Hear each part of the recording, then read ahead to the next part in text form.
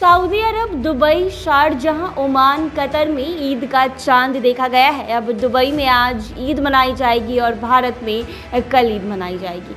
तमाम दर्शकों को ईद की बधाई और शुभकामनाएँ।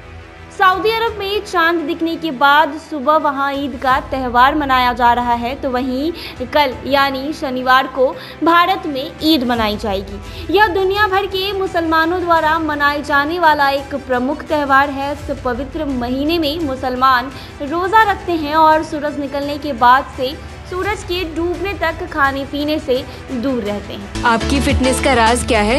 एशवेल ड्रेस ये एक ही बॉटल में है। Stress weakness acidity obesity hair fall skin की हर परेशानियों का एक ही हल।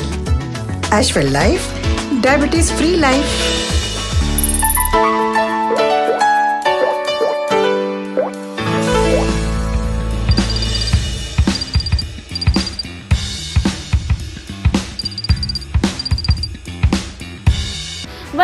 Fitr के त्यौहार को रोज़े ख़त्म करने का त्यौहार भी माना जाता है। बता दें कि इस्लामिक चंद्र कैलेंडर के अनुसार दसवां महीना शवाल है और इस महीने का पहला दिन दुनिया भर में ईद उल फितर के रूप में मनाया जाता है।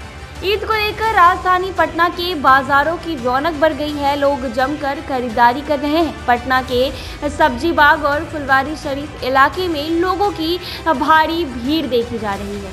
आपको बता दें कि बाज़ार से लोग सेवई, कपड़ा, ड्राई फ्रूट सहित कई सामान खरीदते देखे जा रहे हैं। दुकानों पर लोगों का हुजूम नज़र आ रहा है। ईद को लेकर लोगों का उत्साह देखते ही बन रहा है। सभी धर्म की अपनी अपनी मान्यताएँ होती हैं। ऐसे में मुस्लिम धर्म में भी रमज़ान को लेकर बहुत सारी मान्यताएँ हैं। मुस्लिम धर्म में रमज़ान महत्वपूर्ण महीना होता है। रमज़ान या रमदान इस्लामिक कैलेंडर का नौवा महीना होता है। इस महीने को बेहद पाक माना जाता है। इसमें मुस्लिम धर्म के लोग एक महीने के लिए रोज़ा रखते हैं। रोज़े रखने वाले को रोज़ेदार कहते हैं। रमज़ान शब्द अरबी भाषा से लिया गया है, जिसका अर्थ होता है चिलचिलाती, सूखापन।